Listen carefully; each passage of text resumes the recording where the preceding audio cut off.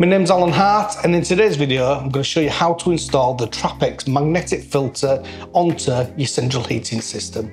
The filter we've got today is the Genesis filter and this is the one without the valves. They also do a version with the valves and that would depend on your needs and which one suits you better. So as I say, what we're going to do, we're going to install this one onto the central heating system. First of all, the first thing we're going to do, we're going to drain the system down and we're going to cut into this pipework. Do you need a magnetic filter for your central heating system? Well, in my opinion, it's definitely a good idea. Inside your boiler, you've got key components like pumps, diverter valves, plate heat exchangers, and a central heating filter will help to protect them. So what we'll do, we'll just strip this down. I'll show you what this filter is. So this is the one without the valves on. We'll take this filter apart. We can see we've got three O-rings inside on this filter. So we've got two on the body We've also got one inside there, so no chance of that leaking. If we take the filter apart there, we can see we've got a 10,000 gauge magnet inside. And then we've got a really good drain off valve on the bottom, so we can drain that. But we'll have a look at that in a, in a bit more detail later on. So first thing we're gonna do, we're gonna turn the power off to the boiler, and then we're gonna drain the system down. So if we go to radiator, you can see on here, We've got a drain off.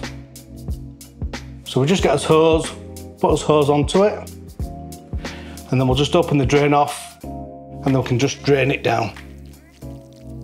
So we've drained the system down now. Now we check it just to make sure that it is drained down. So if you've got a pressure gauge, just have a look on pressure gauge. We don't want any nasty surprises when we cut into the pipework. Also, if we look on the box, we can see it's got a detailed diagram on there and it shows you how much to cut out. Also, want to just make sure that we've got the correct clearances above. So if we've got to take the magnet out afterwards, make sure that we've got the correct clearances for that. We're now going to mark the pipe and then we're going to cut it out. So now we're going to cut out 72 millimeters.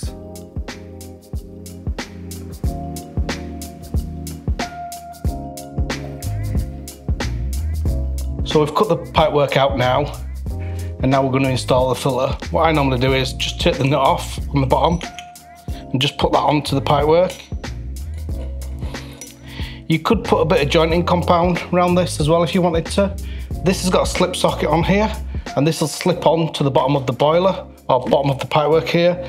It's important to remember that this is the return pipe and this the flow of the water is going this way back into the boiler. On the filter it's got an arrow on there so we need to make sure that that arrow is pointing back to the boiler. We'll just get that slip socket in there. And then what we'll do then, we'll just pull the pipework up.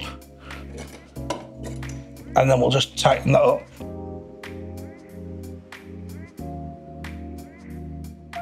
So we've tightened all that up now. And then what we do, we would go back to your boiler and just repressurize your boiler. Make sure you go around as well and get all the air out of the system. So if you've got any air, you can go around and bleed the radiators and then we can turn the boiler on. What do we think to this filter? Well, it's a brass bodied filter, so you're not gonna have no issues with them leaking. It's got a strong magnet on here. As we can see here, clearances, we've got enough clearance underneath the boiler to get the magnet out afterwards.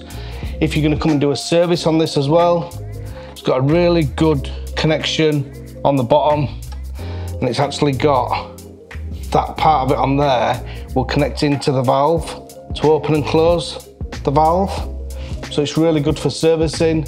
A little tip from me as well, if you've got a washing machine hose in your tools, you can connect that onto the bottom of there. So if you're gonna go do a service, you can have a little bucket with you, washing machine hose, and then you can just flush the filter out. But let me know what you think in comments below. If you've enjoyed this video today, like, comment, subscribe, all that good stuff, and we'll see you on the next video.